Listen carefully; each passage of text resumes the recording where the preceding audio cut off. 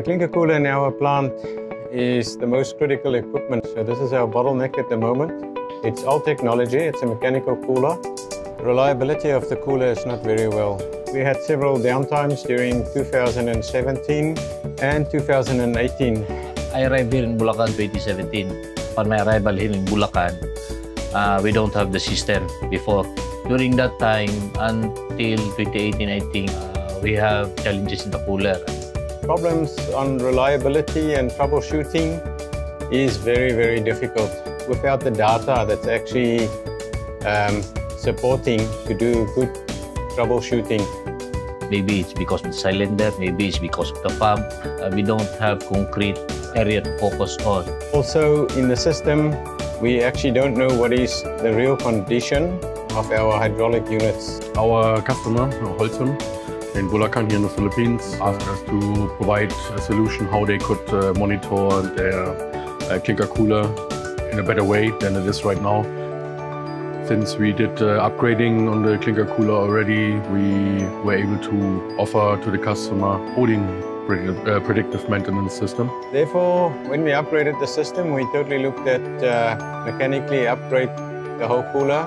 Together with that, we actually upgraded the PLC system and we also look additionally to install ODiN that we can actually capture all the data, that we can actually have a self-learning equipment, that we can actually get to know the health of the equipment, what the equipment is doing. And with that, Holcim uh, gave us a go-ahead to uh, do this project, to do the engineering with the help of Bosch Rexroth in Singapore and the colleagues uh, in Germany. We were then able to uh, Uh, offer the whole system from installation of the sensors to the commissioning of the whole system, which is now online. So since we've actually put that in, it's been a journey, a learning journey for us as well. So we actually learned much more of our own equipment that we never used before. We can predict life, we can actually see what's the health of the equipment. If there is something coming or what we can see some change in in values or we see that uh, the pressure is rising in the clogging indicators or something like that, we inform the customer that the filter has to be changed. With that, of course, we safeguard the system even more than it was before. With that, we know already before the filter will be clogged that it will be happening. The customer can start having spare and can change the filter on time. So the system is safeguarded. With the system that we have right now, so the troubleshooting is much simplified. It will help us in troubleshooting.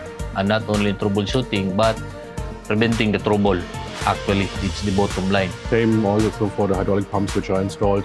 We can see, let's say, for example, the case drainage um, flow is rising or the temperature in the pump is rising. With that, we know there is a problem. I can analyze the problem here on my desk get the parts ready, what I need to uh, do for the service, for the repair of the pump. I go to the customer and I do the repairs there.